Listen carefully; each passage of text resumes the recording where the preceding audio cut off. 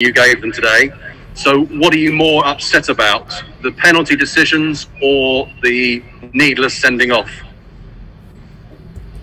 Well, I'm upset about that we don't end up with three points in this game. You know that that's the most frustrating part.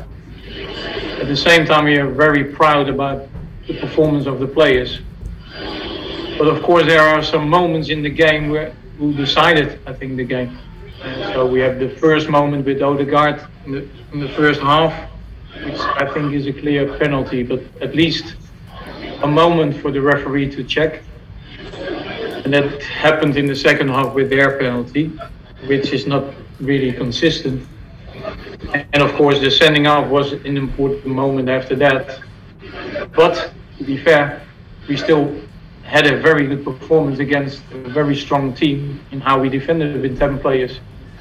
At the end of with at the last moment with zero points is of course very frustrating.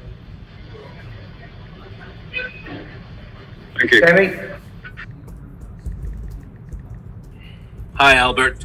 Uh, just uh, again on the on the Gabriel sending off. How frustrating is that? How's he feeling at the moment in the changing room? Because the first yellow card in particular is so avoidable. It's it's needless and silly, isn't it? Why, do you know why the first yellow card is given then? For scuffing the penalty spot. Yeah, it's not what the players are telling me.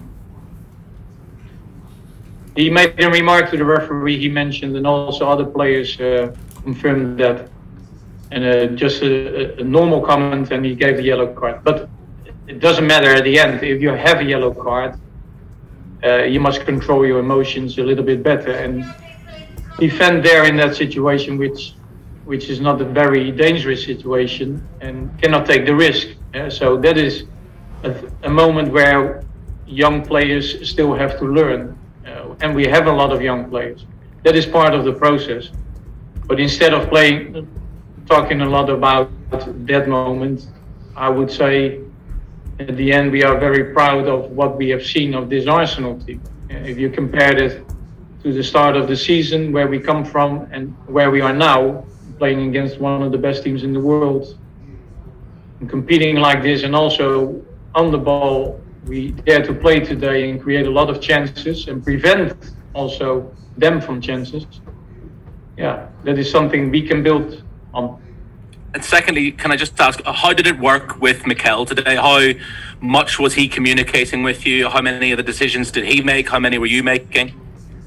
No, it, during the game there was no direct line with Mikel. We we are always uh, in, in contact with each other. Normally, I, I do believe I'm famous for the earpods. So normally I'm in that situation that we always are in contact with somebody from upstairs, or in this case, from further away, like again for the Norwich game also, people who are not involved in the stadium. And we had contact there, and not a direct line, but an indirect line with Mikel. And in between, of course, at halftime, also before the game and after the game, Mikel has been in touch because uh, he, he needs to be involved in, in that case. And, and yeah, we don't we, we don't do anything different. Only Mikel physically is is not here. That's the big difference. Thank you. Thanks, Jenny. James.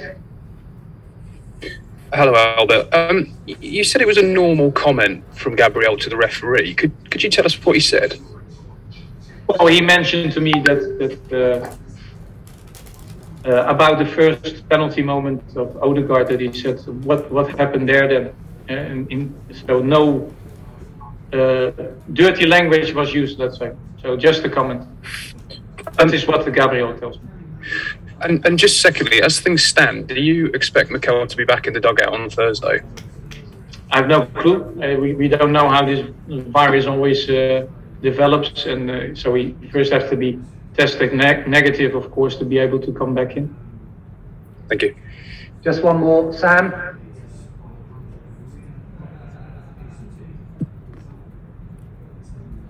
Interested in briefly what, what the tactical approach was. It certainly looked like we were prepared to let City have the ball as they tend to do, and then very quick, compact, rapid attacks. Would would that be fair? Well, I think we had many, especially in the first half, we had many moments also where we pressed them high, and sometimes they broke our press. They're a great team, so they have many solutions. But even on the goal kick, we tried to press them high many times, and we also ended up winning the ball on their half also many times. So we were ready to go also on on uh, on the high press, and but you know against this Man City team that sometimes you're forced back, but then when you are on your own half, how do you defend? compact and, and break from that and that we did it a few times really good also today Thanks, everybody. thanks